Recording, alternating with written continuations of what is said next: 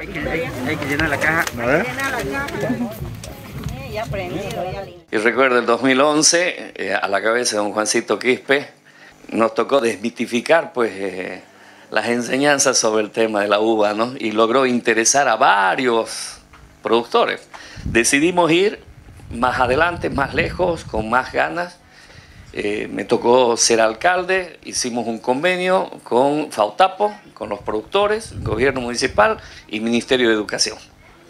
El 2012 se recibieron como viticultores y realmente aquí está ya parte de tremendo esfuerzo. Al que le está yendo bien con la uva, todos quieren hacer uva, entonces démosles motivos para que sigan los que están y los que no están invirtiendo en mayores cantidades de uva, porque el negocio es eso, o sea, tomar la delantera. Yacuiba creo que es el municipio que tiene la delantera en producción de uva y, si seguimos creciendo así, creo que podríamos mantener esta cómoda distancia y que las inversiones sobre uva se concentren en nuestro municipio.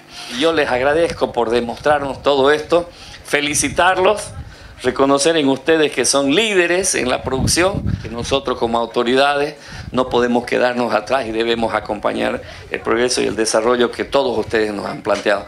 Felicidades, que sean buena hora y este aplauso es para ustedes. Muchas gracias. Agradecer la visita de nuestro alcalde, impulsor del tema de viticultura acá en el Chaco.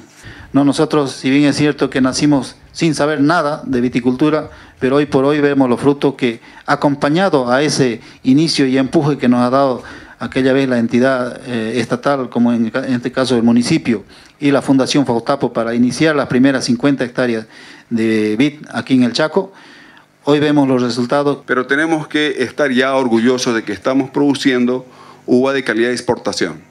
Y eso es gracias a las alianzas que se han trabajado con el apoyo que ha realizado en su momento el municipio y han puesto los billetes un poco en la viticultura. Ese es el trabajo que estamos realizando cada año, siempre con la intención de ir mejorando nuestra producción.